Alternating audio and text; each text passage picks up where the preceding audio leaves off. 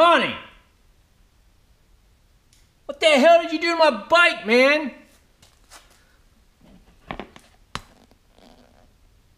Where's my effing engine?